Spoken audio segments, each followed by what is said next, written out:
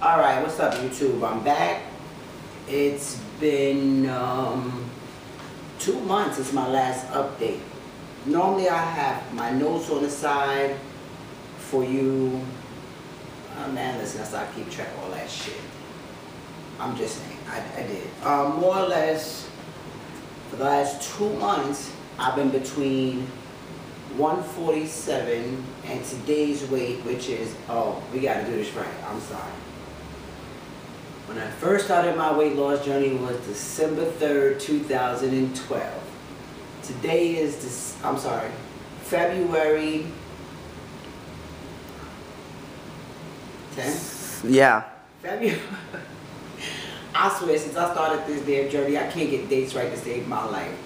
Today's February 10th, 2014, and my weight for this morning was 148.4 and I've been between 147 and 151 for the last two months. I keep going up and down.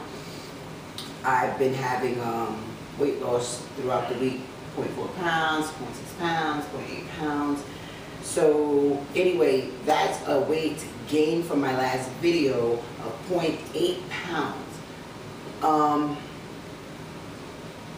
again, if I didn't have the excess skin in my gut, I really would be content with my weight itself. Seeing the excess skin makes me feel fatter than what everyone else is seeing me as. Because you guys see me in clothes already. You're not seeing me naked. You're not seeing me nude. No, my skin does not obstruct my crotch area. It stops right about here. My crotch is down here. But it's because um, it's, I guess, not flat, it's not tight, it's loose. When I bend over, I look like I have four breasts as opposed to two. I mean, that's the best way to describe it. I bend over, like dangle, dangle, dangle, dangle. I'm mostly have two. I look like I have four. Um, that's the best way I can describe it. Um, I'm not really stressing my arms. I'm not.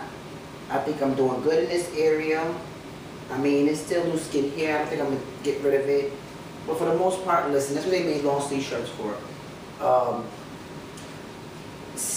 uh, skin removal surgery is expensive surgery with and or without insurance. It's as simple as that. That's my focus right now. My focus is uh, getting that skin removed. I have an appointment with one surgeon on February.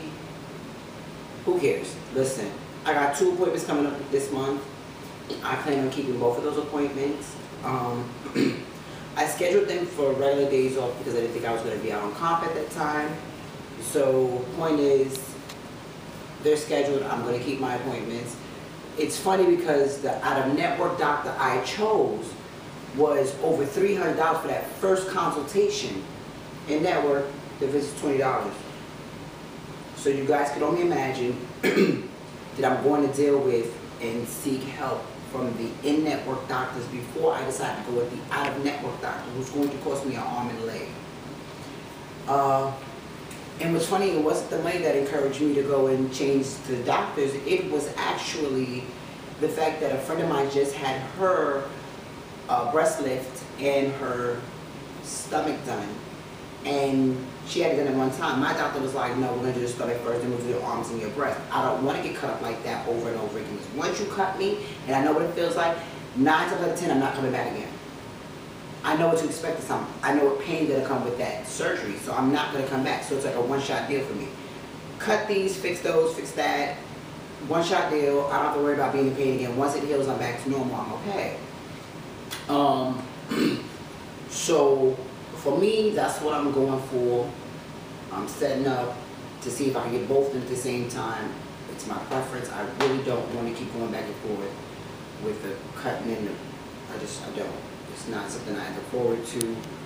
It's the end results from having that surgery that I look forward to. Anyway, guys, like I said, nothing's changed. Uh, I, I, assume my inches are the same. Um, I'm actually 0.8 pounds bigger than the last video. So there's not much for me to really report. My locks are growing and I'm trying to keep them up on oiled. Um, I keep it tied, down when I'm home. I really don't have it out much. So if you see me run out in the street, most likely I'm gonna have a scarf on because there's no need for me to do my hair, I'm not working right now, so. You guys know how I am, you know what I'm doing, not much has changed with my diet. Um, I will keep checking in with you as I do these consultations or these appointments with these uh, plastic surgeons. I'll do an update with you guys from there. I probably won't do one with my normal background, which seriously needs to be changed. It's time for some new curtains, man. It's time to upgrade. It's been a year we've had these curtains up. I like to see some new look in here. So, uh, anyway, I will keep you guys posted with that. Um, I don't laugh. Don't know if this is real, if it's gonna happen. I said, I wanna be between 140 and 145. For some reason, my lowest weight to date is 146. That's the smallest I've ever seen. I've never got to 145. I've never seen 140. It's a goal because during that time of the month, yes, I said it, um, there's a five pound weight gain, two to five pounds. So if I'm 140 and I gain five pounds, I'm where I want to be during that time of the month. Yes, it's only three to four days it lasts, and yes, it's bloating maybe for five to six days, but listen, it's, it's a time period that really makes me go, ugh, I could do without it. They could take this body part, I don't need it. Anyway, with that said, guys, as always, um, take care. Thank you for your support. Thank you to my new subscribers. I'll see you when I see you. Peace, peace, y'all.